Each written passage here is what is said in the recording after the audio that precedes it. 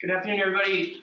Just really quick as we're getting final things set up here. Thanks for coming. Um, my name is Joseph Bell, and I'm going to run this session, if you will. I'd like to express a special thanks to Scotty Strachan and Renee Brown from the Enviro Sensing Cluster. They afforded me an opportunity to host this session. Uh, there was, they didn't have the opportunity to make it over to the East Coast. Renee is in Mexico and Scotty's in Nevada, I believe. So uh, they have extended me an opportunity. Thanks. They extended me the opportunity to host this session, so super grateful for them. Um, really excited about this session, right? So we're going to talk about uh, the spectrum from points on the ground, I think, to outer space with respect to data collection and uh, data transmission, and then ultimately, right, once that data is transmitted, we have the ability to do work on it and let that data work for us. Uh, we have four speakers. We're going to have Jacqueline Lemone, Mhm. Lemone, um, David Coyle, uh, James Gallagher, and Daniel is on the line from Virginia Tech. So we're going to take behind uh, the structure of the session. We're going to have four presentations, look for 12 to 15 minutes each, and then we'll have a 20 to 30 minute talking session at the end to gather thoughts and um, ideas. So without further ado, here's Jacqueline Okay. From NASA. Okay, thank you. Yeah, there are two of them. Yeah, I'll- I'll take this sure. one. Okay. Okay. Uh, I need it, but. Okay, so uh, my name is Jacqueline Le Moigne and uh, I am, uh, in fact, I changed the title from what was advertised, but uh, the content will be will be the same. So I am mainly going to talk about one of the two thrusts of the of the Advanced Information System Technology program at uh, in the NASA Earth Science Technology Office. So just a, a, a little background for those, uh, those of you who don't know uh, what is ESTO and AIST. Uh, ESTO is the Earth Science Technology Office in the Earth Science uh, division at uh, NASA headquarters.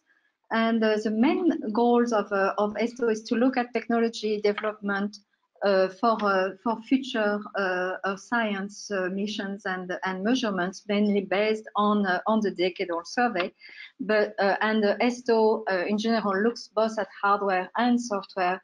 So there, there are uh, several programs, and the main programs are the observation uh, capability programs, um, the AIST program that I am going to uh, talk a little bit more in detail, and and there is also the INVEST program, which is a validation program for both uh, hardware and software technologies. Uh, within ESTO, the goals of AIST, which is the Advanced Information System Technology Program, are to uh, to spe uh, spearhead the technology to both look at uh, at the new observing uh, strategy, new um, new observing uh, new measurements, trying to see how we can uh, we can um, uh, develop new capabilities, especially through distributed sensing. And uh, from a, from a science investigation point of view, look at how we can we can use the new software technologies and and integrate um, uh, um, mission uh, models and uh, and data and new computational capabilities for for facilitating science investigations. So. So this is what uh, I just described uh, at a high level, the two thrusts of, of AIST. And I'm not going to talk too much about ACF because it's uh, not so much related to, to this particular session. But uh, I am going to describe in a little bit more detail what are the new observing strategies. So, so as I just said, you know, the new observing strategies are really to look at, uh, at uh, optimizing the meas measurement acquisition by, by um, integrating diverse uh, observing capabilities, and these capabilities can be in space, in, uh, in the air, or uh, on the ground, and uh, using um, distributed uh, spacecraft missions and the old idea of sensor webs, which is a little bit more generalized in, in that case. And, and this is uh, really in response to the decadal survey, which is more geared towards uh, towards observation and measurements rather than uh, than missions. So, uh, and the assets can be uh, in in this generalized sensor webs. The assets can be NASA or non-NASA uh, assets. So. Uh, traditionally, the missions at NASA have been monolithic, with uh, usually large, a large spacecraft geared towards one particular measurement. uh, with, uh, with the development of, of new technologies, uh, in particular the miniaturization of spacecraft and instruments, and also the capability uh, to handle uh, large amounts of data, both, uh, both on board and on the ground, the, the, this new observing strategy are going to utilize this distributed spacecraft mission as well as the coordination of these, these measurements from, from this diverse point of view. so, so what we call new observing strategies uh, is really the, the idea of, of looking at all the, the possibilities of uh, multiple collaborative sensor node data that, uh, that, that will um, produce measurements that we can integrate and, and they, they look at multiple vantage points, multiple resolution, and this resolution can be temporal, spectral, spatial, and, uh, and angular and uh, and this would uh, this would allow us to um, to to produce a more complete and a more dynamic uh, picture of uh, of the of science phenomena. So so this is very similar to the old sensor web concept, but in which one node can be an individual sensor or can be uh, a constellation itself. So it's really a, a system of uh, of systems, and um, And a special case of, uh, of what we call a DSM or a distributed spacecraft mission is what, uh, what we, we call an intelligent and collaborative constellation, uh, where, uh, which is really, which involves a combination of real-time data understanding usually on board, situational awareness of, the, of each spacecraft on its own, but also the spacecraft within the, the constellation, uh, being able to, to do problem solving on board, uh, this, uh, of course, uh, decision making on board, communicating uh, between uh, between the, the, the, different nodes of the of the constellation, and being able to take a decision based on this collaborative sensing instead of of one particular instrument. So uh, this, this, is uh, one of, of the scenarios. Uh, uh there are several scenarios, but uh, this is, for example, the scenario where we where we are looking at the measurement acquisition, and if if if there is a request for a new measurement, we go through through a different number of steps to look at uh, the different assets that already exist in space, uh, in, in uh, aerial or on the ground, or in situ and uh, see how we can obtain that measurement uh, either using existing assets and uh, or either with one sensor or with combining several sensors or maybe uh, augmenting the, the, the, a combination of multiple sensors with a new one, either uh, on, uh, on the ground or maybe having a flight path of a, of a UAV, or designing a completely new uh, observing uh, systems, and this observing system can be traditionally monolithic, or it can be uh, um, a combination of uh, multiple uh, multiple sensors, uh, either in space or or a combination.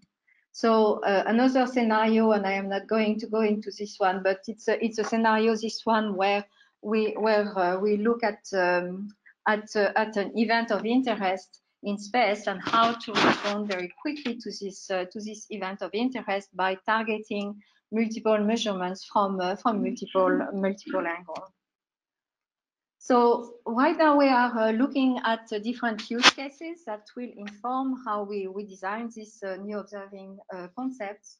And um, and the first use case, the first type of use case that we are looking at are flood monitoring, and this is one specific type of, uh, of use case and we we uh, we um, design a certain number of use cases and uh, then we are going to look at other domains such as uh, air quality or disaster management for uh, for this type of use cases. So the first this is one of the first one that we developed where uh, a radar image in in space indicates the potential for for flood inducing precipitation and this is going to trigger a network of ground-based uh, sensors to, uh, to, to take more rapid measurements, for example. And then these, uh, these new measurements added to maybe a science model can, can trigger some other types of measurements, either in space or, or in situ. and uh, and maybe um, they, they, uh, we we have been talking with uh, with a small um, a small company that just started um, of a radar CubeSat, which uh, which could maybe target one of their CubeSat to uh, to take uh, more more precise measurements. So for to to be able to develop this this type of um, of, uh, of concepts, a certain number of, uh, of technologies that need to be developed, and, uh, and I, I, listed some of them here, and I'm not going to go into all the details, but some of these technologies already exist, uh, but not have not necessarily been integrated within a system, and some of the technologies uh, do not exist or do not exist at the level of uh, capabilities at, at the capability level that we, we, we require for these concepts. So uh, our uh, our first step is to uh, to build what a test bed that that will allow us to test these technologies individual individually and also as a, as a system. So looking at at at, uh, at it as a system of system to so to validate uh, these different technologies. Once uh, the, the, the, framework for this testbed will be uh, will be developed, we will be able to demonstrate some novel uh, distributed operation concepts, and uh, and then we we could we could play the game of plug and play and remove one technology to put another one and be able to to compare uh, um, several uh, technologies in a very meaningful fashion since uh, the conditions will be the same. And, and finally, the, the, one of the, the final goal is to raise the TRL level of these technologies as a system and uh, and so reduce the risk of integrating these technologies in actual uh, missions. So so this will allow us to and uh, being able to uh, to to do some uh, some infusion more, more so the test bed is going to, to be developed uh, in, uh, in an iterative fashion.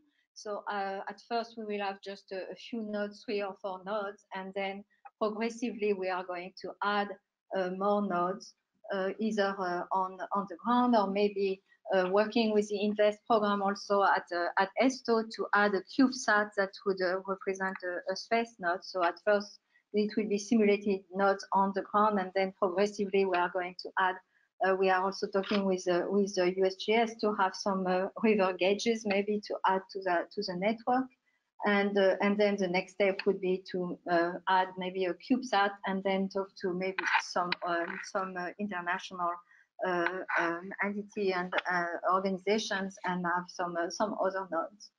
So and and once we have this this testbed in place, we will be able to integrate it in the solicitation process of of AIST.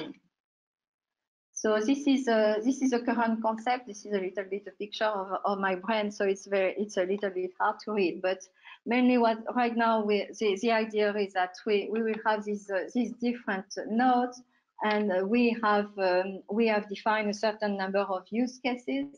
We also have four pilot projects uh, looking at different aspects of uh, of the technology and the capabilities that are required. So we are going to build the first version of the test bed that integrates this pilot project and that uh, to make a, a, first demonstration of the of the concepts.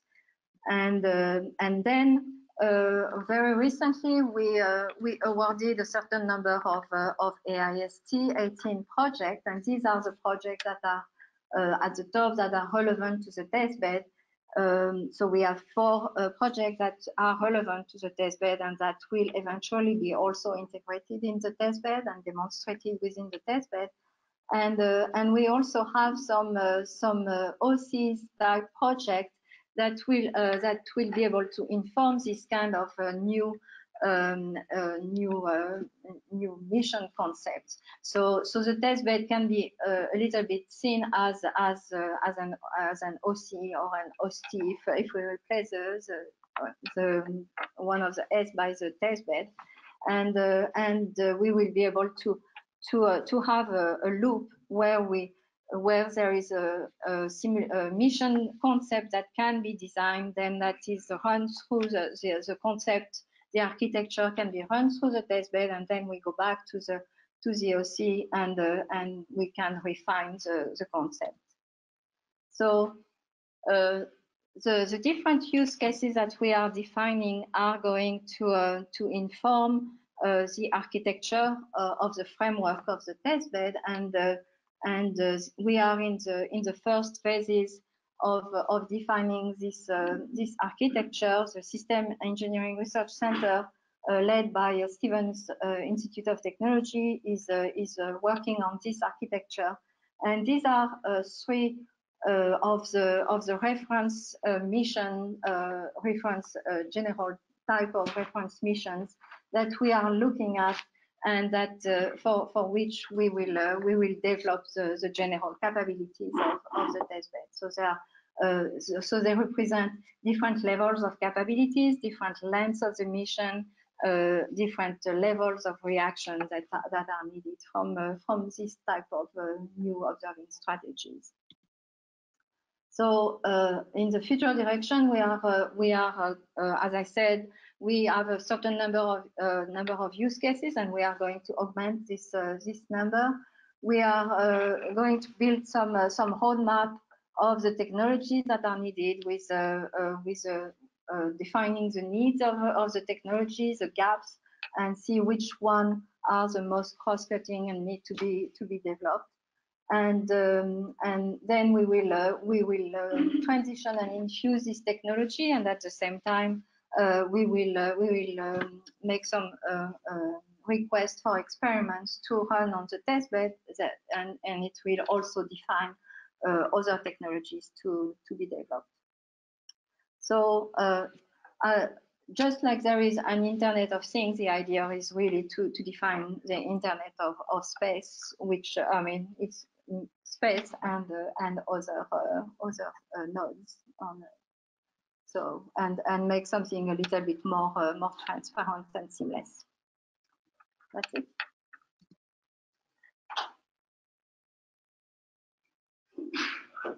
Thank you, Jacqueline. Uh, we do have a couple minutes for questions as we transition.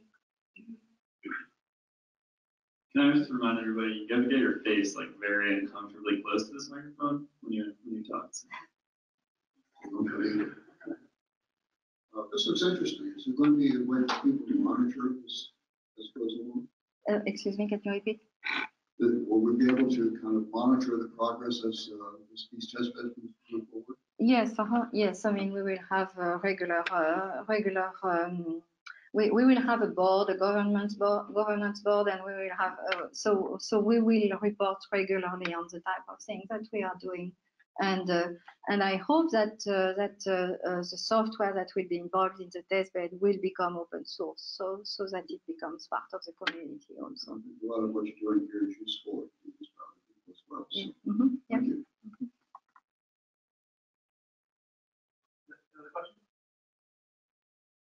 Can I ask which uh, uh, which offices uh, uh, the project manage that? Someone was trying to ask a question in the computer. Okay, great. Uh, we do have a question online. Let me see if I can find you. The online people. That is. Uh, Daniel, can you hear us? Yes. You're my go-to. Uh, are you the one with the question? I am. I was wondering how far along are you in uh, building the group of uh, uh, the, the collaborative group of testbed partners for in situ measure in situ measurements? The question is how far along is NASA Mm -hmm. with build, building the breadboards for and, and test methods for in situ methods? Did I summarize that well, Daniel? The, uh, the, the actually the uh, the collaborators uh, the, the collaborating institutions for the uh, for the surface in situ measurements. Yes, right, right now for the in situ collaborator, we are just uh, starting. We only talk to um, to USGS, which is your your other your sister institution, yes. which is at EMS. Oh yes. Yes, uh -huh. yes. John Stock. John Stock. Right? Yes, so so, so we are just starting. This is a, and this is why we are we are um, presenting this this uh, this work everywhere because we we would really like to involve a, a larger community. Mm -hmm. Okay, thank you. And like I said, we're gonna have an extended session at the end, so if there are questions that come to folks, um, we can discuss them then. The next speaker we're gonna have is David Coyle from the USGS. I've had a, it's been a great experience for me to uh, meet and work with David over the past year. Um, David is an IT specialist and I am not, so he has done a fantastic job of putting up with a high degree of ignorance. And uh, David is here to talk to us about NGWOS, which is the USGS's next generation water observation uh, system project, which is playing out over the US where select basins are being uh, targeted for extended monitoring, and then a focus on low power wide area network um, experimentation. All right, David, let's uh, get you to take it away.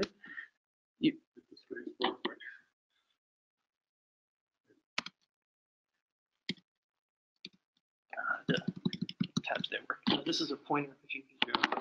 And I'll give you a five minute. Okay. So yeah, I'm David Coyle. We work with, um, I'm in Reston, Joe's in Baltimore. We're working on a, this next generation water observing system, which um, we're kind of afraid to call it next generation because a few years from now, it'll probably be old, but um, this was uh, initiated in 2019 and it's going to go forward into 2020. We're also going to include other, other basins, um, such as out west. So this is the first iteration of this next generation uh, observing system. And here are some of the people. Um, the Delaware River Basin actually starts in uh, New York State. So we've got the New York, New York Water Science Center um, and other water science centers such as Pennsylvania. Um, so we're, we're trying to bring in this group together of, of hydrologists and also technical people. And we're, we're looking at uh, deploying the equipment and also the operational cost. You know, what's the operational cost of deploying a sensor? Because we're the, the big idea is that we're trying to move into this LP WAN technology. Another another thing we're doing, which, which Joe can talk about, is um, which should be interesting because there seems to be some projects from NASA here. Um, is, is NASA tech, technical readiness levels. And so we, we've instituted a form of testing that kind of includes a, a form of testing, which is kind of like ISO 9000 testing. And so in, in our evaluation of these, these LoRaWAN and similar sensor networks, we're, we're trying to bring a sort of a formal process to that. And Joe can talk about that later. So if, if you're not already familiar with it, uh, TRL7 is basically what we're shooting at for something to become you know, worthy of, of using, uh, at least in an experimental basis. And so one of the things we want to do with these low costs is traditionally we've had um, uh, it's you know thirty thousand dollars to set up a USGS gauge site with uh, high high cost sensors and high cost data loggers, satellite communications. Um, what we're looking to do is with the, with the LoRaWAN is to add well a couple of things. You add a gateway to an existing US stream gauge site, which we feel is a huge opportunity and then in addition, use um, gateways that could be standalone. And in addition to that, use existing gateway networks such as SenatCo, which is which has uh, a system where you can basically use their gateways. Um, and we don't want to test a number of things. Um, one, one, of those is, um, well, one of those that occurred to me in the last talk is soil moisture network.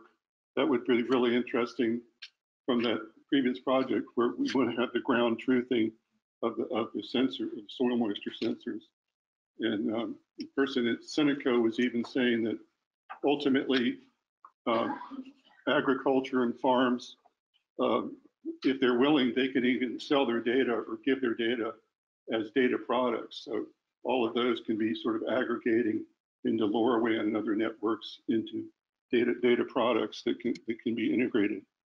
So this is a, a, map of the of the Delaware River Basin, and um, I'll show you what, one of the things that we're monitoring, which, which Joe can talk about more, you know, from a hydrologist perspective, is salt line. Basically, when the salt line encroaches on the Philadelphia water supply, that puts the water supply at threat.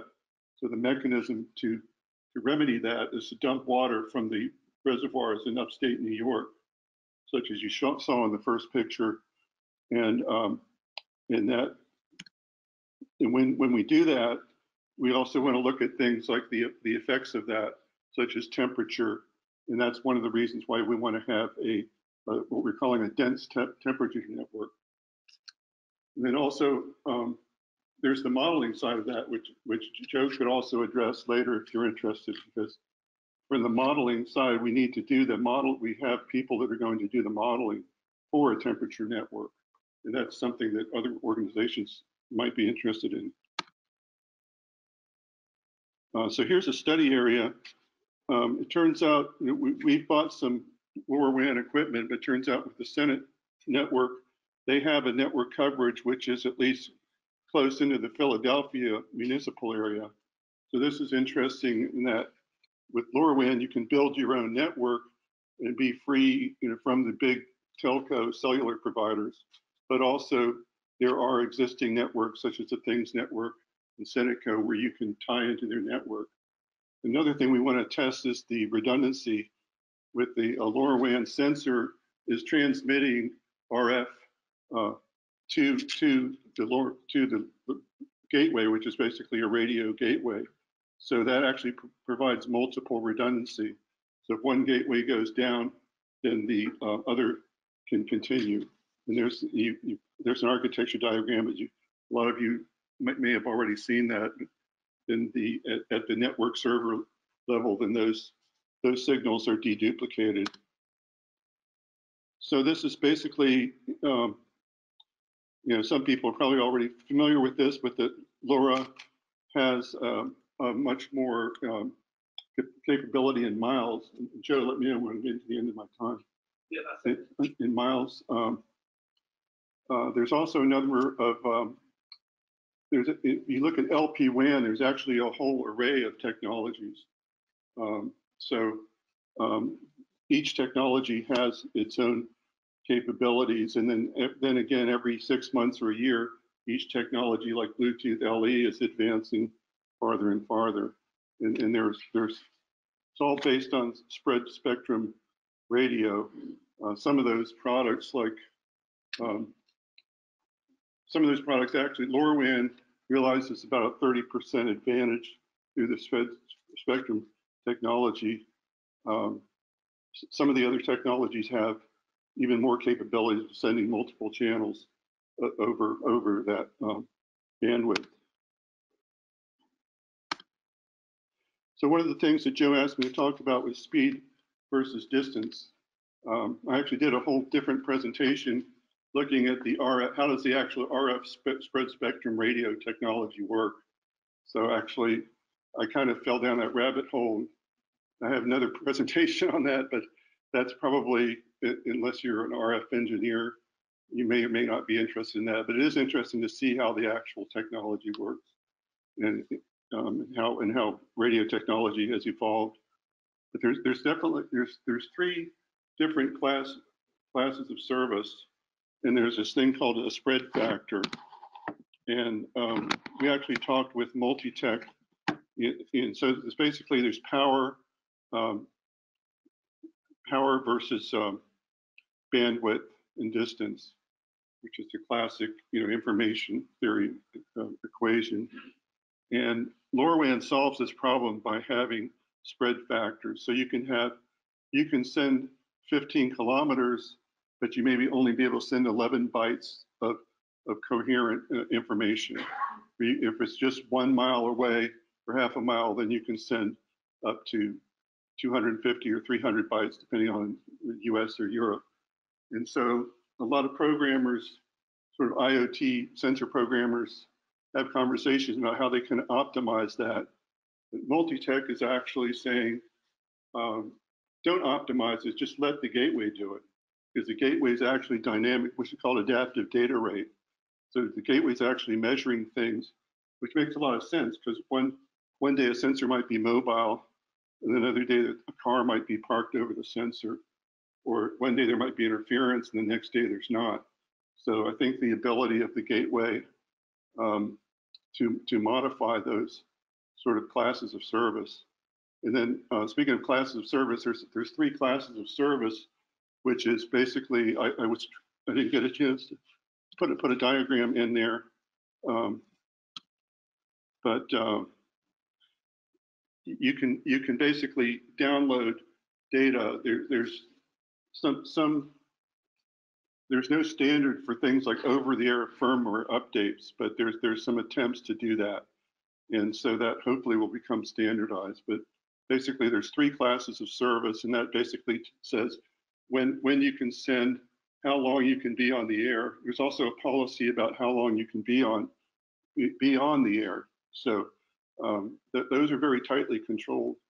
So the, the thing to realize is that you know, if you if you want a real-time sensor that's sending a lot of data, it's not really the application for you. Um, although you, you could aggregate the data and send the package of data of time series or average data, you know, every 15 minutes or or or, or less often. So um, here's here's an example of some sensors that we've looked at. Uh, I particularly like Libelium. Even though they're expensive, they have a a comprehensive programming library and they version control everything. So as, as a developer, um, that's very appealing. However, they do have sort of a walled garden approach. And working with our sensor vendors, we're trying to stay away from that, those walled gardens. So that's kind of a tricky, um, one of the ones we're looking at just for proof of concept demo is Laird. And Laird is interesting because they have a, a time sync feature and um, which you have to implement on your side. It, but if you use the, the things network in myDevices, they've actually implemented.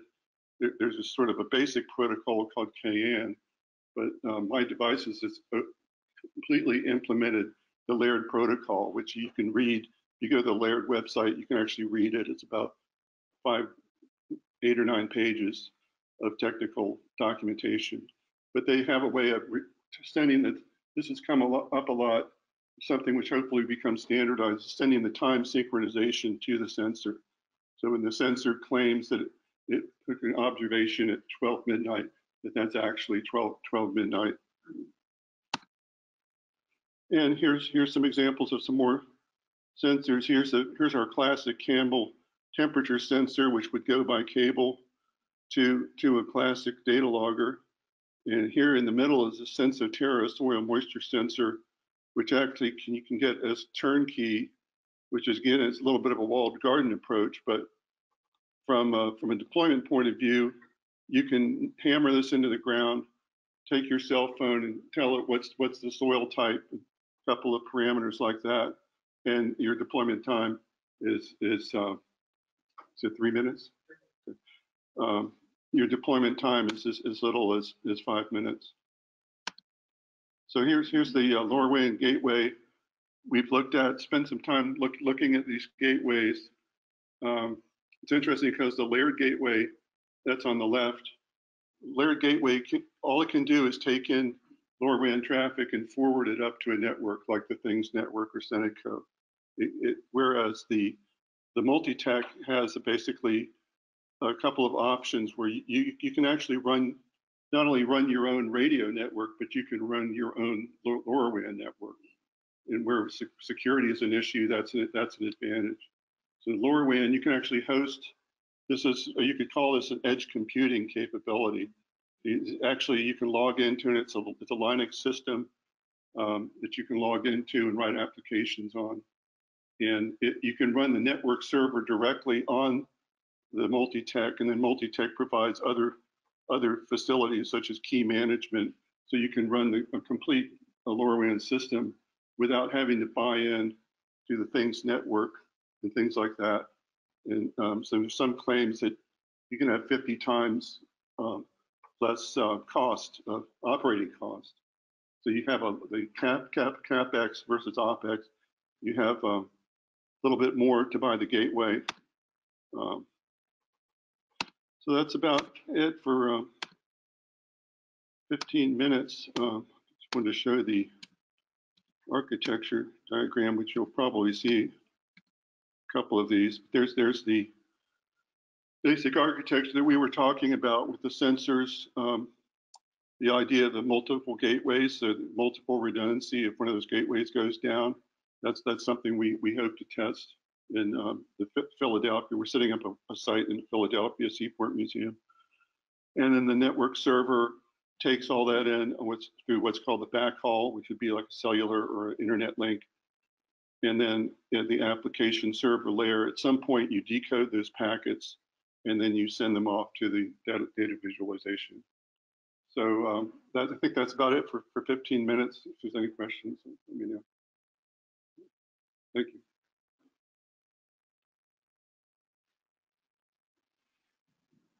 Thanks, you showed a Libelium Yeah. sensor. Mhm. Um, That's a really popular one because it's popular in smart cities. It's got open interfaces on it. Have you been using it? So what's your experience? I haven't used it, but I've s- I've certainly appreciated reading the, you know, the source code and, and the programming manuals. Um, I, you know, a lot of this sensor, a lot of the similar technologies we've looked at, they don't have that, you know, they don't have all of that developer support. So I, I will say that it's very compelling. They think about the sensor side, they don't think about the network. Yeah, you're kind of on your own, yeah, Interfaces, so- right. But, but the cost of some of those is really low. Like there's one that's a hundred dollars for, um, for a gateway, I know for a sensor platform, the SDI twelve sensor platform. But Go ahead. So I see we're up to the transport level. Yeah. What, do- what are you putting on top of the transport? Well, the, um, the, the back, you know, from the backhaul back to, if you're talking about the, the big blue circle in the middle, the network server. Yeah. Yeah, well, that's, the, initially, we're going to look at using Senet code. Senet code, uh, kind of, uh, they're, um, they seem to be, you know, um, sort of prefer them for different reasons to the Things Network, especially because they have a network in Philadelphia. And so we're going to look at that as, as the server, but we're also going to, from that stage, we've got, we've got some projects. One of them was, was uh, Amazon Greengrass, which we're using with our uh, um, uh, velocity, what's this, the, um, looking at the velocity of, of the, um, the the stream velocities? yeah, yeah. So, so we have some other projects. So we, from there, we hope to tie that in. And I, I'm looking at InfluxDB and, and some other ways to sort of, you know, do, basically, the first stage is just going to be a proof of concept. um, and just put some basic analyses on there and, and hopefully make it available for real um, modelers to, to access the data from that, from that sort of staging area. Quickly, one more question. We'll use this time. Uh, Dan's going to run over and work a little bit on the audio. So uh, go ahead. David will bounce the mic back. Yeah, um, my, my question is, is just quick. I want to congratulate you guys on using the NASA TRL levels. I've worked at NASA and NOAA, and NOAA doesn't use TRL levels as much, and it's so much easier to talk about technology when you've got that common language. So my question is, once you guys get your, you know, your sensor system up to the TRL seven or TRL eight, are you thinking long-term about commercializing this at one point, or will it always be an internal USGS system? That's a great question.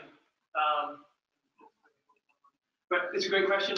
what we would like to use it for is a, a cross spectrum of that. We, we would like to have a private component where USGS only, if you will, or maybe um, DOI agency, if you will, and then another side of it that would promote the citizen science, which is a fantastic session we just came from with the meteorological equipment. So, so, so what we're testing is something across, you know, completely closed down, nobody sees anything, absolutely secure, to World Wide Web applications where folks can say, hey, I have this sensor, I'm at this school, I want to be on your map.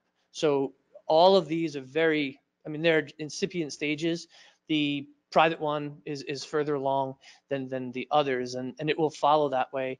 The fascinated about your uh, comment about TRLs, maybe we can talk about it a bit more at the end, because it's, we, we are looking at a, a hybrid spectrum between the product maturity, side of the house as well as the technology readiness. The survey works a lot with off-the-shelf equipment that doesn't often work as in line with what we want to do. So then we go through this whole itera- iteration of making it work for us. So um, uh, thanks, David. So let's give David a round of applause. Uh, the, the next speaker that we'll have up is Gallagher. And uh, th- this is kind of fun because I, my first ESIP meeting was in Tacoma and David Coyle turned me on to the ESIP group. I met James there, I met Jacqueline there and, and Daniel online from Virginia Tech, our last speaker, right? I, I met him there as well. So j- as it turned out, I was able to draw from this community to build this session. So um, it- it's kind of fun. Uh, Good? Great. Thank you. Thank you, Dan, for helping us with the audio. James, yours should be open. Oh, okay. Um, So- that could be it. I don't know which one it is. Why don't we just open one of them and we'll see. That's it? Here, why don't we press the little, you can go that way if you want to. That's the I'll one. let you drive. That's the one to press, I think. Okay. Hi, um, I'm James Gallagher. I'm from OpenDAP, and I'm going to be talking about another project that uses LoRa. Um, uh, my, my, I'm presenting this work. The PI on the work is Martha Apple, and um, other participants include Kevin Negus. Martha and Kevin are both uh, professors at Montana Tech who's one of the newest members of Montana Tech, is one of the newest members of ESIP. And uh, three students, Samuel, Tyler, and Carson, have also worked on this. You, you may, yes. Use slideshow, no worries, man. Um, I'm not sure how that's gonna happen, but, oh, and let's make this go away too. Okay, so, so first off, this is about developing a sensor network that will function in snowy alpine environments, and this is a progress report on our work so far. Um, how do I, oh, down here, all right, okay. Yeah, I tried that, but anyways, okay. So, okay, underlying all of this, here's the reality. We're doing this work because of the importance of alpine plants in detecting and monitoring climate change all of the other stuff I'm going to say and the rest of the talk is super cool for me because I'm a techie guy, but this is the reason why. And everything is derived from this. So I want to give you um, first an overview about the open source hardware movement.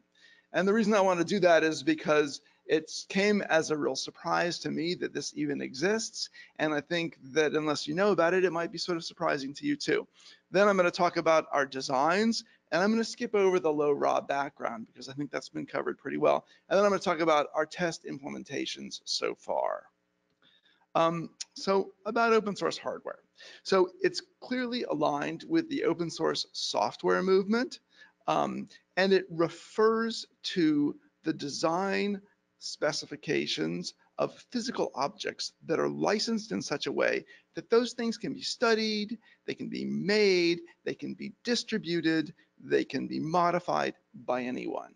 So for example, the Arduino MCU uh, ecosystem is both hardware and software, and those Arduino boards, those tiny MCU computers, can be made by anyone and sold or whatever, just as you can do with open source software. Um, of course, unlike open source software, you can't download a physical thing on the internet and have it, but but the but you can download design documents. Um, there are companies, commercial companies that support this, just like there's Red Hat in the Linux world that supports open source software. There are companies like Adafruit, SparkFun, Seeed, even Mouser, OSH Park. All of these companies support this open source hardware I'll call it ecosystem for lack of a better word. Um, there are tools like Arduino, which I mentioned, Fritzing, which is a computer aided uh, design uh, language for circuits and, and uh, PC board development, GitHub, Bitbucket, you know, for code.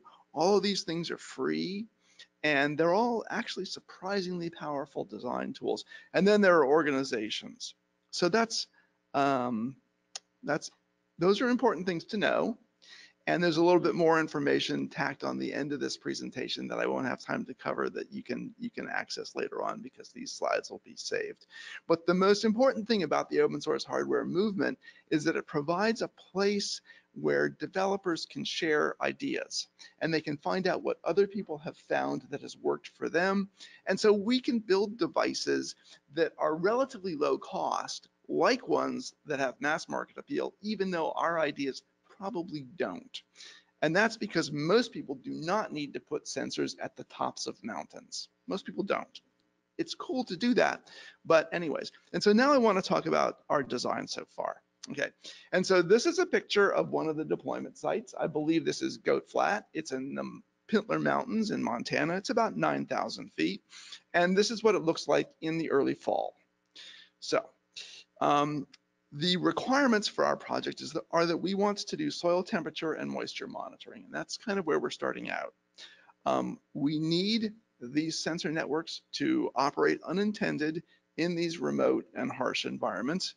We need remote connectivity because access to these environments in any given year is not 100% guaranteed. That means even during the summer, you may not be able to get there. So, and we also need them to be extremely low cost um, because the other requirements weren't hard enough, right? Of course, we need them to be low cost. Um, so sensor network. So the basic design is that, well, actually this slide mixes the notions of requirements and designs and goals, but we're calling it basic design because um, it's a 15 minute talk. So we're gonna, we want to initially put these sensors at at least one research site, and that's the Goat Flat, which I showed the picture of before. But there are other sites that we have in Glacier Park and at other locations in the Pintler and Pioneer Mountains in Montana. Um, we need, or we would like the sensors to run on battery power for at least two years unattended. Um, we plan on using LoRa radio to connect sensor nodes in a kind of a star pattern to a master node and we're going to use a master node to forward the data to the internet. So it's very similar to the previous talk in some sense. Um, the master node uh, right now, um, and I'll get to this in a moment, is using satellite, a satellite modem for uplink to the network. Um, subsequent technologies might use, uh, or subsequent implementations might use other technologies. Um, data to them, data from the master node will be sent to an application server so that it can be accessed and stored. And so we've developed, we've actually experimented with a couple of different types of application servers. Again, there's more on that a bit later. Um, the master node itself can also be functioning as a, as a kind of a mini weather station. Um, it doesn't have to be particularly sophisticated, but there is one thing that we kind of, that I kind of skipped over in the early bits, and that's that those sensor nodes, we need to be able to collect information at uh, accuracy and precision levels good enough for scientific publication. So anyways, um, this is a kind of a little discussion about LoRa and this notion of star nodes. So here's a basic LoRa setup. You've got a bunch of leaf nodes out there, they're sensors, and there's a master node hooked up to the internet. And the operation is, for these kinds of situations, is pretty simple. Everything is asleep and essentially consuming no power for virtually all of the time. But periodically, for about two seconds, the sensor nodes wake up and they take their measurements and they send the information to the master node and then they go back to sleep for another hour or so. The master node then sends the information up to an application server and then the master node goes back to sleep. So um, test implementation. One of the things you noticed about that previous uh, little animation was that there was a lot of talk about sleeping there. These nodes are asleep most of the time, right? There's 3,600 seconds in an hour, and everything was actually only running for two of those seconds, so not very much time. Um, and so how you how you keep the nodes not consuming much power at all and wake them up is really key. Um, this project has actually been going for almost a year, but we but it was in not till the fall of 2019 that we got uh, another MTech faculty member, Kevin, who's in the double E department, and three double E students working on the master node, and and they kind of ran with it and designed the master node um, all pretty much on their own. The idea behind their design is for the master node to function independently, if eh, potentially independently.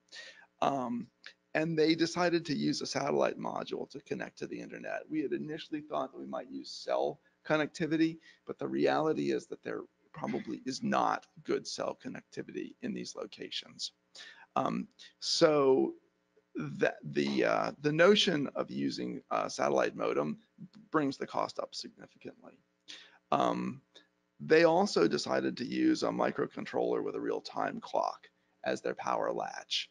Um, that's a more expensive type of power latch than than what we have in the sense in the leaf nodes, um, but it's probably also more realistic. And and their their uh, their tests and their computations show that they can build this device and run it at 3.3 amp hours per year. Um, right now, their master node doesn't actually have LoRa capability in it, but um, but it will be really easy to add that, partly because the MCU they're using for their latch is easily extendable to include LoRa. Um, test implementation of the sensor node. Here's an exciting picture off to the right of one of the prototypes. Um, um, this, this combines a LoRa with an Arduino and some temperature and moisture sensors. Um, we've experimented with a couple of different types of, of moisture sensors. Temperature sensors are really pretty easy. It's the moisture sensors that are actually pretty complicated. Um, but we're using uh, lithium manganese oxide batteries. We know that the temperature floor of our deployment environments is about 50 below. So we need batteries that can hold their voltage down to about that level. Um, we've tested the prototypes down to 25 below. Um, the total parts, we want to try to keep that below $50 per unit. And we think we can actually go to much lower than that. But um, it's much more convenient to spend a bit more in the open source hardware market and get things from like SparkFun and Adafruit that you can easily breadboard and easily solder together. Later on, we'll move into lower cost devices. Um, in this case, we used a discrete component. I, I developed a discrete component power latch that uses a couple of transistors to do that. And we can run this at one amp hour per year. Um, so here's some implementation notes about what we've tested so far. Um, and we have some of this stuff um, in a Chords server, some data in a Chords server uh, running that's running in the Amazon cloud. And we also have some other information on a GitHub site, and those links are embedded in this in this presentation. How much time do I have? Five minutes. Yeah, okay, that's good. So the satellite um, uplink was chosen because we needed to broaden the potential number of places we could deploy this. Um, but eh, there's there are other issues. Um, there's another actual requirement, something that should go on the slides. A lot of the places that we're deploying are Forest Service land and or public or parks. Some of the places are in Glacier Park, and so we're not supposed to have anything visible above ground. And so that's a real challenge. Okay, all this technology uses relatively high frequencies. In the picture that Dave showed, you saw the LoRa runs from 915 to, well, in the US it runs at 915 megahertz. So there's serious issues with attenuation there. Um, the other thing that we just, so, so we dropped cell phones and we went to satellites. That's one thing that we learned. The other thing is that um, both, both independently, developers at the developers at OpenDAP, I'm the developers at OpenDAP, um, and the folks at MTech independently decided that power latches were, were a better way to control the power than just having the MCU sleep and trying to sleep the peripherals. The, the MCUs control power really well within their sleep modes, but it's the peripherals that continue to suck it down. Um, and I just couldn't, I couldn't get across that barrier. So that's where I went with the latch. Um, the LoRa protocol, I found that if I simulated a fair number of nodes talking to a master node using simple point-to-point -point communications, just like the lowest level, forget about all the LoRaWAN and everything. Um, it didn't it didn't really work, and that was because of collisions. And so I decided to move to a reliable datagram version, and there's pretty good implementations for that in the open source software stack. Similarly, we need an application server, and you talked about ThingSpeak and that whole environment. Um, Chords implements a really, a pretty good open source version. Mike's in the audience. Um, ERDDAP is another, is an OpenDAP server that also enables the same kind of thing so that you can push stuff up from the master node. Um, either one of those will work and they're both pretty good and they're both open source. Questions? And I should say that I have some more information about LoRa and a bunch of other stuff. There's about another 10 slides here, but but you've got the basic picture of what we're doing. And one thing I should mention that's kind of cool, LoRa was actually developed by an actress named Hedy Lamarr and an avant-garde composer named George Antheil. And it's just the coolest thing. So it's wonderful to read about. Okay, questions? She has the, uh, had the uh, um, patent for spread spectrum, That's right. which is really cool. Uh, Did you consider using amateur radio? Um, no, we didn't. But um, I do know that the SNOTEL network uses something called meteor burst radio to move information out of their sites to a central location.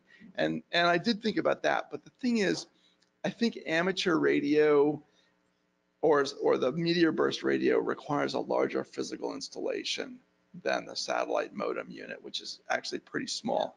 But we are really concerned about the footprint of the devices in the field. So the little thing that I showed you will will be much smaller than a pack of cards in its final realization.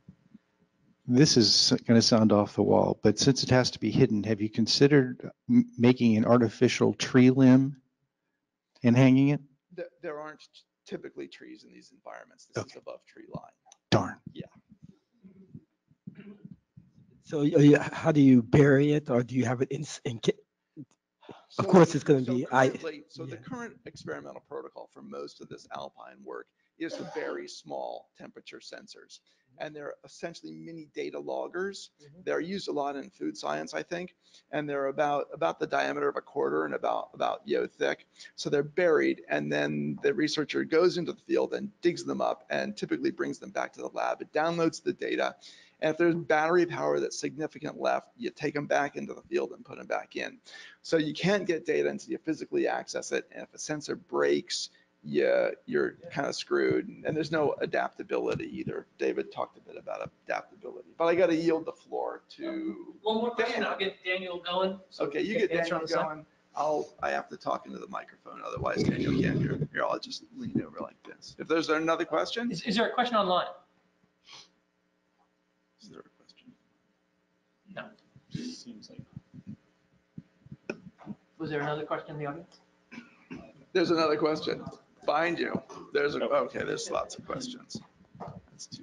For, for the uh, kind of durability that you're requiring, is there, uh, is there any thought about having uh, redundancies of uh, any sort in these things that you might have? um, There is should be more thought, but we're just starting out. So right now, that, the, some of the redundant, like the redundant star node, or what might be analogous to redundant star nodes is not something we've looked at. But there could be, yeah, there could be, yeah. All right. Daniel, Daniel Fuka from Virginia Tech is our next speaker. Daniel, do you have us online? I do believe so. Do you hear me? Yeah, we do. Hi, Dan. Aloha, I should say. Let me go into presentation mode, and I, I must say that it really kills me not to be presenting something that is LoRa related, because I've been playing with this quite a bit myself in the sensors, but I'll, you'll see a little bit of the sensors that we've developed uh, later on. But uh, there was a request for something related to drones. And so uh, I'm pulling a, the project out of hibernation here. Uh, and really, we're just going to call this Making Drones Interesting Again, in which case this is a use case driven project. Uh, we want to design and print water quality project drones to fill in spatial surface data gaps. And I'll show you a little bit of a reason why later but uh, we're looking at completely new sensor development. We're look we we it, drones are really neat, and if you have enough money, you can do a lot of really neat things with them. Um, uh, but it's uh, but putting new stuff onto them uh, requires a lot more money. So one of the things that we don't have is money. So we really are trying to make what is commonly traditionally uh, n- n- drone research, and we're trying to cut the cost about two orders of magnitude uh, so that we can give this stuff to our students. Reason for this is because really it doesn't take too much effort to throw away and destroy $150,000 worth of instrumentation in the drone world. Two orders of magnitude is where we want to go. So as I mentioned, this is use case uh, n- n- driven, and um, uh, we're going to actually go to the top of the Delaware uh, uh, watershed uh, uh, a little bit here. Uh, so you guys might see a, uh small uh, watershed that you recognize for those of you that are familiar with the Delaware River uh, watershed. But we're looking at two different flow processes, and we are very interested in what's called saturation excess. So currently, most hydrological models, most watershed models use a solution that's infiltration excess. And that is just where the precipitation rate is greater than the saturated conductivity of the soil. And so water flows off the surface. Now, what, we're very interested in is this area between where you actually have saturation excess where water doesn't flow, it actually infiltrates. And uh, the reason why we want to look at that is because pretty much everywhere except for the Midwest and Texas, uh, you're dominantly in the infiltration excess uh, paradigm. The other reason why we, we want to go after this is soils are very important to us uh, in our research, and soil genesis is very well explained by topography. That is, soil goes downhill, and it turns out that lighter particles can go downhill easier than smaller or uh, heavier particles and that kind of stuff. So with that, uh, if we actually look at a location, uh, we can start looking and refining soil uh, soil maps. Whereas this is an area that's classified under SSURGO as uh, roughly two to three different soils. We can uh, really increase the resolution of this, especially when we're dealing with saturation excess, because if we're looking at phosphorus or other agricultural uh, chemi agric agrochemicals, uh, really the the phosphorus will store in the field as long as you avoid these areas that are red. Uh, so uh, basically, if you model correctly, uh, you can actually find places to store your uh, store stuff. So we're just going to go in and say, yeah, soil does go, does move downhill. That's kind of a neat thing. And slay, uh, sand uh, takes a little bit more energy to move downhill than clay does. Uh, uh, other things that we can know is that if we can determine the hydrology, that is the hydrology of the top, say, 10 centimeters of the soil, right before and after a, a storm event, and uh, you can actually uh, we know the physics, soil physics well enough that we can now start looking and refining those soil maps. And uh, just because if we can determine the water movement in the top, we can then see, uh, we can determine what the saturated conductivity is. And then there's relationships between sand, silt, clay, all that kind of fun stuff. So what we have found is we can do this very well with ground penetrating radar. And that's very useful. Um, uh, one of the problems with ground penetrating radar is it's expensive. Uh, uh, uh used units is what we look at. And uh, uh, those last studies are on the order of 5,000 to $20,000 worth of equipment to do them. The other thing is after it rains, it, it kind of gets mucky. So you need a little bit more, it's a little bit more money and uh, two old guys to drive around in a, a, ATV to be able to do your ground penetrating radar. So what I want to do is update that 2003 and say, hey, wait, drones can be cheap. We can buy cheap uh, drone parts. Uh, we can uh, buy cheap sensors. That's what we've been talking about today. And if we print it and we give it to the students, we can take that $150,000 uh, the, the, sensing platform and bring it down into the $150 uh, range. So cheap drone parts that are expendable, reusable. You can buy this. It's a pretty nice, it's actually a fairly nice uh, drone with two GPSs in it and it has flight following, all that kind of fun stuff. And you can you can inject GPS uh, uh, information so you can actually put in a traffic pattern that you want to scan. Um, and so one of the things then is how do we get the GPR cost down? And that came out of a really, really cool uh, uh, paper that I saw of uh, these two people that were looking for landmines. And the biggest problem that they were having, they're trying to build $20 landmine uh, uh, robots. And they found this uh, this nice little radar that is kind of, I guess it got modified from and put into production for automotive, uh, be, being able to tell if you're going to hit a uh, hit a curb or something like that. Uh, so those sensors have become very very inexpensive, and this group said, "Oh yeah, we can find landmines as long as there isn't soil water. And there's problems with soil water." Uh, which is exactly what I'm looking for. I, I live in a place without landmines, but I'm really interested in measuring soil water.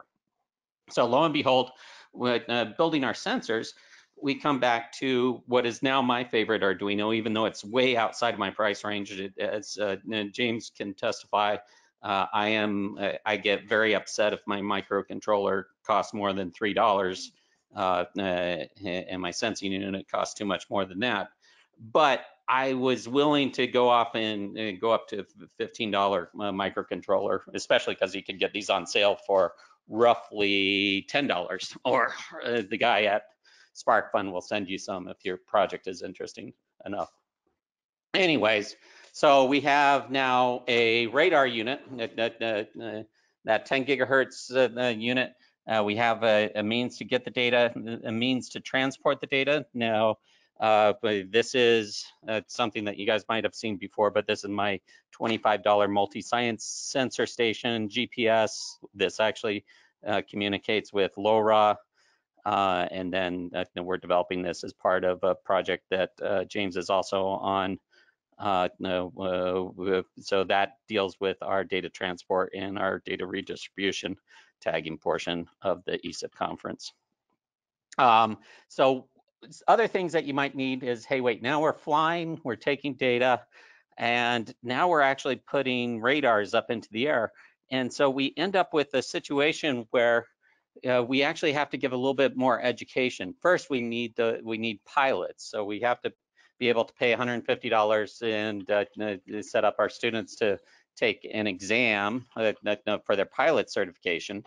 Uh, the next part is uh, if we're putting radios into the air, and flying with them, then we probably also ought to have them study for a ham radio license, which also, as a, a, a question from the last uh, uh, presentation, uh, it, it's useful for being able to uh, transmit data in other fashions and methods.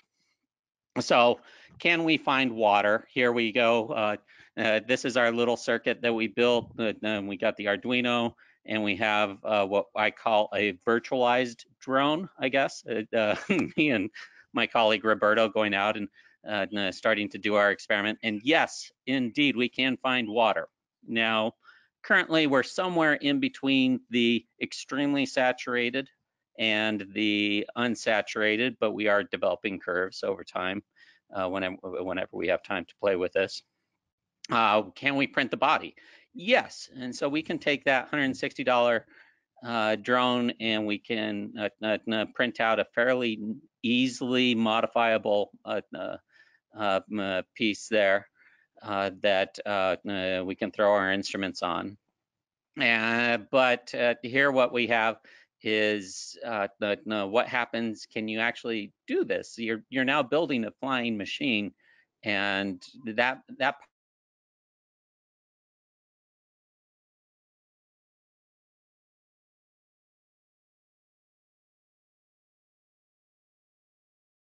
Daniel, are you there?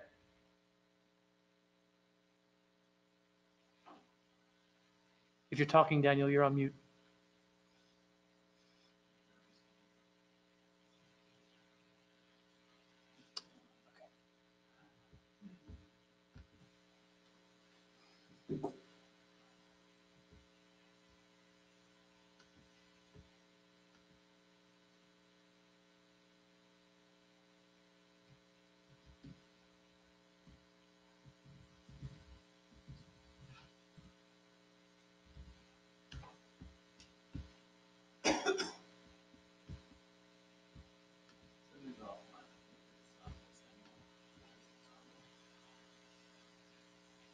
Okay, uh, right, so we will adjust, right? Um, D- Daniel, when, well, you can't hear us. Say something when you come back in, okay? Um, Great, so we'll wait for Daniel to come back in and um, ping us. Right now, we have a couple of, where are we sitting? We're sitting about 5:15, 7:15 in the evening. We can pivot. um, If, Ben, if you can keep track and maybe see if Daniel comes back in. uh, I'll- I'll- Uh, let- Let's pivot a bit, uh, ask some questions that maybe people, folks didn't get a chance to ask during some of the other sessions. And then, uh, so let's start there. Are are there questions? Obviously not for Daniel, uh, but uh, for the other three speakers that we didn't get a chance to cover during their presentation slot. And then from this question, we can basically just go into an open discussion. If there's long awkward silence, I can ice break. Yeah, uh, I have a question maybe for everyone who's doing on the hardware. Uh, on en- energy side, I see that almost everyone say what kind of battery we need for maintaining the, the system to be running.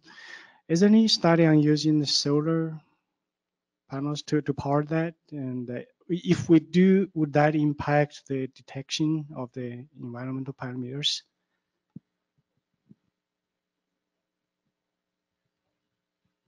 Sure. Um, solar cells were one of the first things we thought of, and the Forest Service said, absolutely not. the other thing that we've, uh, and I should hand this over to, to, to Dave, because you may have very different requirements, but the other thing we have to watch out for is that even though there are not a lot of people in these places, there are a lot of other animals. And so, especially some of the smaller animals have stolen things and like they, they disassemble stuff. So wires, exposed wires, it's like, it's imagine like, it's like you have like mice, when mice get in your car, right? They eat the insulation and stuff like that. So, so we have to try to protect these things from animals too. So yeah, solar cells unfortunately not part of the equation, which is too bad. You know, USGS, we, we already have solar at most of our sites that are, that are remote. So that's the idea of adding a, like the multi-tech gateway, we, we can run that off. Actually, that runs off of power over ethernet, which is kind of strange. But we, we, we think that we have the ability to step up or step down the voltage as, as required. Um, But that was an interesting thing is it, it actually runs 48 volts DC power over ethernet, which, which is good in a way because you can actually run a 100 foot cable if, if you need to. And you know, one of the interesting things too, in this session, we're hearing uh, Daniel and James speaking, speaking to the aspect of uh, low cost versus uh, high cost sensors, right? And from my experience with the survey, w- w- we don't even think about this. We, we don't even hesitate to drop four grand on a probe that may or may not work out. So th- this injection, if you will, of type of low power, wide area monitoring in the survey is, is really great because it's starting to expose and really just shine light on how much extra cost there is for features that aren't used that you know are proprietary and stuck in there um, just for marketplace. So um, yeah, it's, it's really fascinating. Um, and and I, I avoid the use of cheap. Cheap has a place. It, they may be cheaply made. However, the inexpensive yet um, usable uh, sensors. Um, so that that's been a really interesting thing for me over the past 18 months is to, to learn. So I, so I was going to say, another thing that, that, another thing that you touched on there, um, or actually another thing that Dan touched on was 3D printing and using 3D printing to fabricate components. And one of the components that you might want to 3D print and fabricate is a case because you mm-hmm. gotta gotta get small boxes for these things. And and in, in like a lot of hobby electronics the sort of the case is like the most expensive part like that's half the cost. And and they're often not optimal. And you really want again you want the cases to be as small as possible especially for in our design those sensor nodes Yeah, I, I wonder just a, I've just got a general philosophical question because today's the first time I've ever heard about o, o, open source hardware. And, you know, philosophically, how do you do you even care about protecting the intellectual property of, you know, what you've created and you've put this out? And, and what if your design really, you have a design that really does take off and can be used? I know, you know, the whole sharing between, you know, low impoverished scientists is, is extremely good. But, you know, if there is a future and how do you, you know, evolve the technology to the next level if everybody's doing their own thing? Ah, yeah. So I think, okay, so I'm not really an expert in open source hardware. I'm just a person who's fascinated by it, but I'm going to claim to be an expert in open source software. And so, um, but I'm not an expert in its monetization, okay? Because I'm OpenDAP is a nonprofit corporation and you know what nonprofit means, right? So, um, but here's the thing, there are ways in open source software to protect the intellectual property of your, of the development, right? And so, and and some of those licenses have been litigated, so there's actual case history, and a lot of the open source hardware community is leveraging off of that. So you see similar licenses, or you see the software associated with the MC that runs on the MCUs also licensed by LGPL, for example. So the Radiohead library and the Tiny LoRa library, those are licenses licensed using LGPL, I believe. Um, Adafruit and SparkFun, those are two companies that are very tightly bound to this notion of open source hardware, and they're both for-profit corporations. Adafruit was one of Wall Street Journal's 50, you know, most exciting tech companies in, in a recent year. You know, so so so it, it, it is a viable business model, and there are ways forward to protect intellectual property and to to sell it, to monetize it as well if you're highly successful. It was interesting on the other presentation that I was thinking of showing, but wasn't sure. It was this great article by this security researcher, Matt Knight. He, he wrote, he put a presentation called Reversing LoRa. So in 2006, because LoRa itself is proprietary, Semtech bought this French company for $5 million. And so the actual chip is proprietary. But this guy basically reverse engineered the LoRa protocol. And so it's, it seems possible that, you know, it's at some level, the implementation of the sort of the physical, physical OSI layer, it could be replaced by open source hardware in, in, in slightly different algorithms, you know, depending on how that goes. Yeah. Oh, let's go.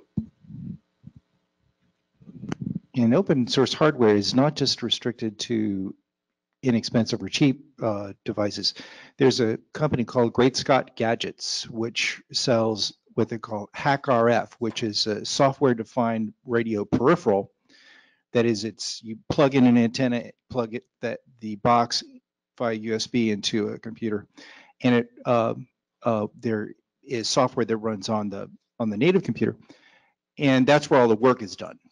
Uh, but the it the peripherals uh, I think it's 250 bucks. So it's not a cheap box. Uh, but there there are more and more things like that uh, that are happening, especially like in amateur radios we were talking about before.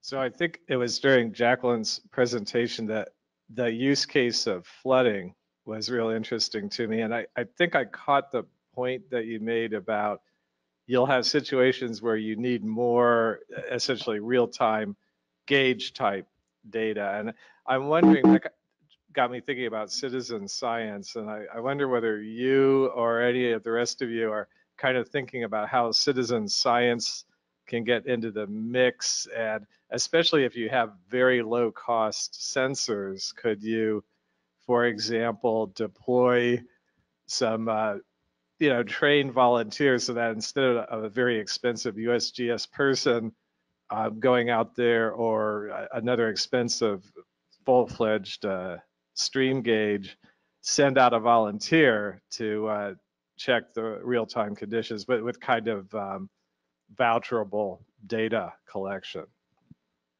No, that's a great question and a great comment. And part of the survey's interest in this type of uh, level of monitoring, if you will, is disruption, complete disruption of the market. Um, with these budget strapped uh, labs, right, where they're soldering their own stuff, building, ordering their own, or making their own uh, wiring harnesses. Uh, that is amazing, and it's really impactful to the bigger corporations who are seeing those orders of magnitudes difference and at the same or near the same level of quality, right? So from the USGS standpoint, we are not going to look to replace everything that we have with this type of stuff. We are looking to use these forms of open source hardware and, these kind of innovative approaches as an augmentation to the existing networks.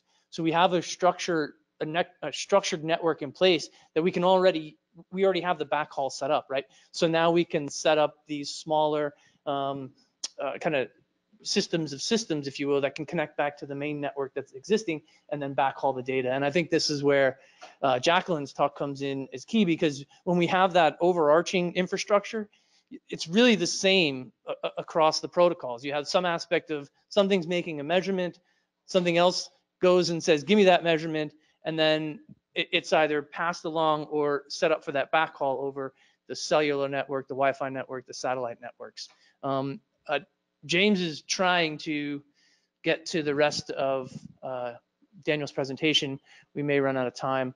Um, but right, so, so from an aspect of market disruption, right, uh, that, that's a big part of the survey to be able to say, hey, you know, Xylem, YSI, and, and this place is the citizen science component, right? Because we can bring monitoring equipment down. But, you know, we look at a, a radar gauge that costs or a radar sensor that's in the range from 12 to 18 thousand dollars we just got in touch with a company that we're getting into tech transfer agreements and this is to the intellectual property protection right they have open they're using open source um, pieces but how they have them configured and and the software component of them allows them the opportunity to get a patent and then we can get into usgs can get into a tech transfer agreement with them that preserves the intellectual property of the survey members who say, hey, what if we modified it in this sense?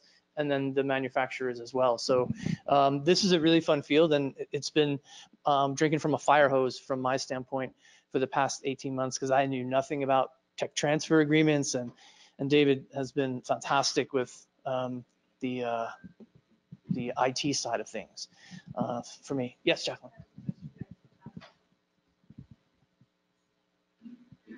Yes, and when when you are talking about citizen science, um, in fact, I, I, talked about Internet of Space because I wanted it to relate it to the Internet of Things.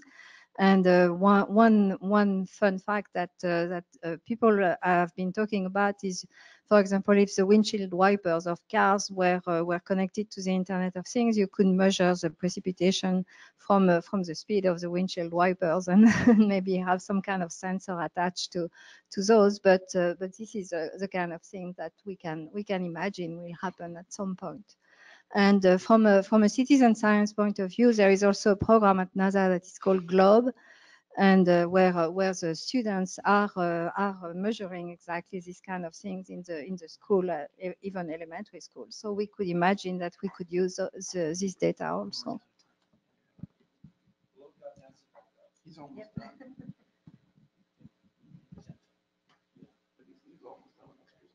So I should say, Dan was almost done with his presentation, but the upshot is that um, there are some legal issues with flying drones.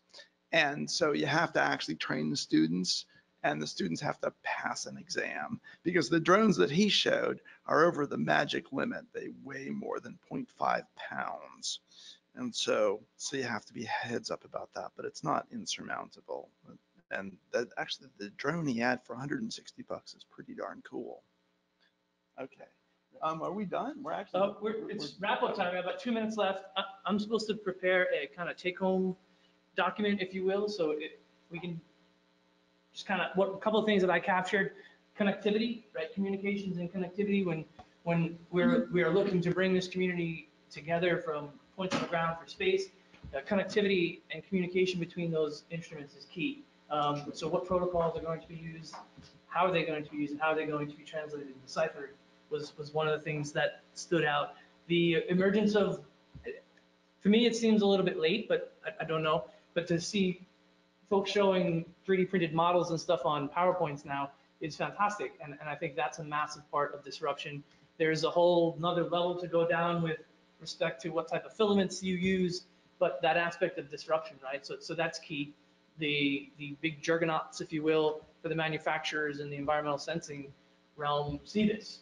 And I've been on the phone with a lot of them over the past year, and they recognize what's going on. Some have bought into the, the long range, low power monitoring. Others are just waiting to see what's going on. But uh, movements, kind of like what James has shown and what Daniel has shown, are, are disruptive. And it's, uh, it's pretty interesting to see that hit in the marketplace.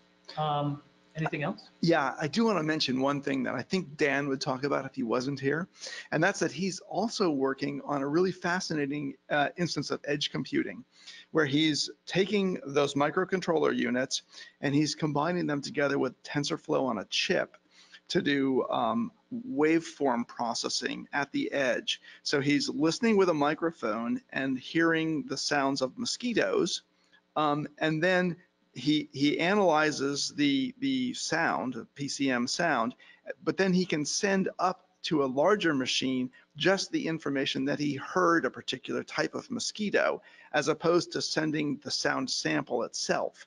And this is really interesting because he because he is able to listen to sounds but then just send the information that he heard a, a particular type of sound, like a female mosquito of such such type, as opposed to sending the actual sound up, which from a system security and a privacy standpoint is really important. And it's also obviously important for bandwidth sake as well.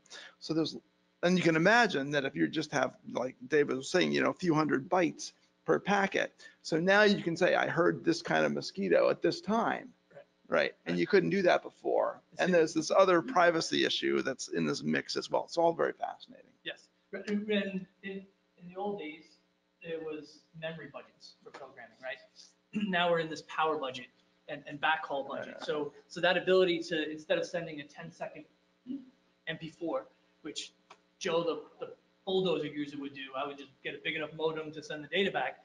We can be creative and, and just send an M or an F ASCII character 11 kilometers over, over LoRaWAN, right? And, and pick out whether it's a male mosquito, a female mosquito, a bird that's migrating because its chirp has been recognized. And then the, and, and image processing, right, this kind of goes all up the line, right? Did you see that tree move or, or, or did you see a landslide? Do you see smoke in the distance? Should we look at fires and, and, and stuff like that? Uh, and anybody else? Sure. The chipsets for doing exactly that, I've played with two. Uh, NVIDIA's um, Jetson board and the Deep Lens from Amazon. Both are uh, very uh, easy to program because it's trained in the cloud, deployed to the edge. Yeah. And they have all kinds of uh, software developer suites and the like. So if you got a power to run, especially the NVIDIA one is an Arduino board with a super big GPU and heat sink on it, but it runs on a USB power. So um, it's really cool. Yeah, lot- it's a new world. Thanks. Uh, I'll end the session and just let folks know, EnviroSensing Cluster, part of E ESIP, they meet the first Tuesday of every month. That was yesterday. Uh, so the next one will be in February. It's a fantastic group. Scotty Strachan, Renee Brown, again, thank you so much for allowing me the opportunity to host this session. And thank you to all the speakers that signed up for this session with me. Um, Appreciate it. So, thank you. Enjoy the rest of the conference.